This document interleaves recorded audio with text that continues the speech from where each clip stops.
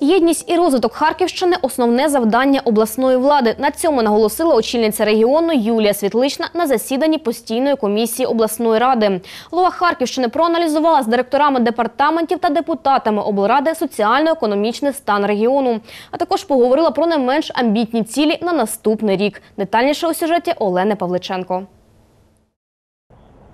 На найближчу сесію Харківської облради планується винести ряд питань. Серед них проект про затвердження програми економічного і соціального розвитку Харківщини на 2019 рік, про внесення змін до обласного бюджету на поточний та наступний роки і низка інших не менш важливих питань. Виносячи будь-яке рішення, яке стосується добробуту населення, наголошує Юлія Світлична. Найперше треба слухати громаду, адже основний обов'язок влади продовжила очільниця регіону це приймати рішення виключно в інтересах народу. до кінця року. Всі роботи, які були заплановані, будуть виконані.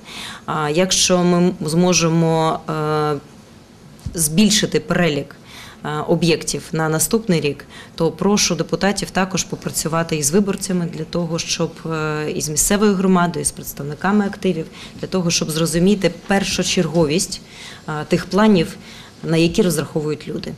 В найменших селах та куточках області створюються дитячі садочки, дошкільні групи, фізкультурно-оздоровчі комплекси та інші об'єкти соціальної сфери, на появу яких довгий час очікували мешканці Харківщини. Всі ці об'єкти створюються за ініціативи голови області Юлії Світличної. Так, ще два фізкультурно-оздоровчі комплекси, нагадала Юлія Світлична, в Золочівському та Красноградському районах з'являться до кінця цього року. Роботи вже завершуються. Зовсім скоро юні мешканці Харківщини отримують можливість займатися спортом в сучасних умовах.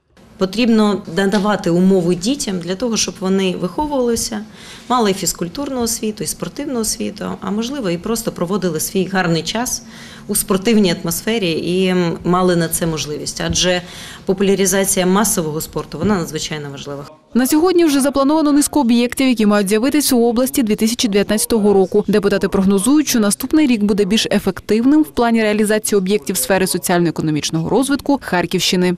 Охорона здоров'я. Пропонується включити 102 об'єкти на загальну суму 787 мільйонів гривень, житлово-комунальне господарство 73 об'єкта 892 мільйона гривень, культура і туризм 43 об'єкти на 306,5 мільйонів гривень, освіта 150 об'єктів на суму 797 мільйонів, Також до переліку включена паливно-енергетична галузь, соціальне забезпечення та розвиток спорту на Харківщині. На понад 400 об'єктах в області у цьому році провели реконструкції та ремонти. Сьогодні є можливість долучити до основного переліку ще 34 об'єкти для проведення там ремонту, а всі заплановані роботи закінчити в строки до кінця цього року. Забезпечуючи розвиток і єдність, ми з вами менше говоримо, а більше працюємо і більше виконуємо.